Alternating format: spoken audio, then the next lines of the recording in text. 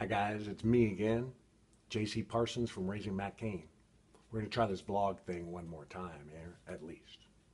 Today's topic, our main man, Matt Cain, the namesake of our beloved blog here.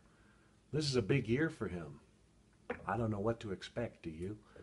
Um, it's hard for me not to count on him just to be the horse that he's always been. I know he was terribly injured, but I can't see him in any other way.